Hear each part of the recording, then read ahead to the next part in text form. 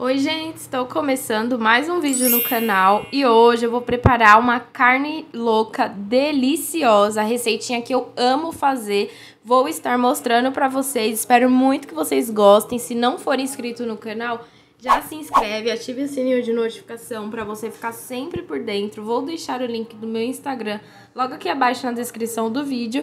E, gente, deixa aquele super like pra mim que me ajuda muito, muito, tá? Dessa forma o YouTube entende que meu vídeo é bom e distribui para outras pessoas. Vou pôr para cozinhar essa carne furadinha para cozinhar um pouco mais rápido, acrescentando um pouco de óleo, gente, porque essa carne não solta muito, tá? E vou colocar também pouco de vinagre e deixar na pressão cerca de 40 minutos.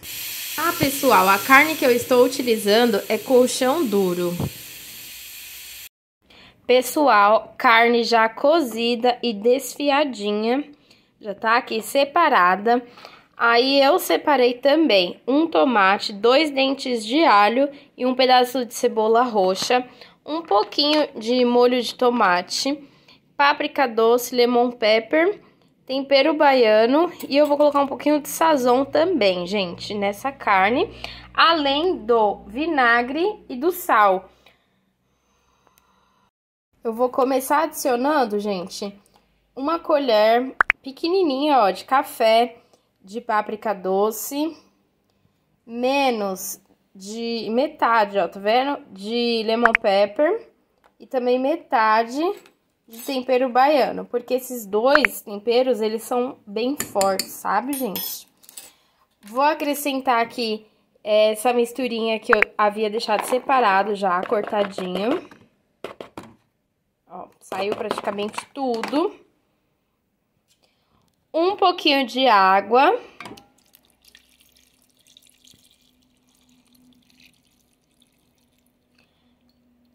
Molho de tomate.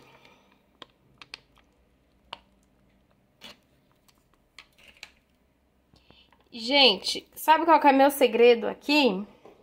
Pra dar um gosto super diferenciado nessa carne? Isso aqui, ó, gente. Vinagre. Fica uma delícia. Eu vou colocar, ó, como se fosse duas colheres de... Daquela grande aqui, tá bom? Duas colheres de sopa, gente. Aí agora vou ligar o fogo. E é só mexer tudo deixar cozinhar aí pelo menos uns 10 minutinhos. Já tô mexendo aqui tudo. E eu vou falar pra vocês, aqui você pode acrescentar milho, se você gosta, aqueles enlatados, sabe? Que também fica muito gostoso. Você pode acrescentar o milho, você pode acrescentar, se você gostar, é, caldo de quinor, né? Que vai dar mais gosto aqui. Um um, é, um ingrediente que eu sempre coloco, gente, é a salsinha, porém acabou a minha e eu esqueci de comprar. Então, dessa vez vai sem mesmo, né? Dessa vez vai sem mesmo. E, gente, mais um temperinho que eu vou acrescentar aqui, que eu não peguei, é o orégano, gente. Não dá pra ficar sem, né?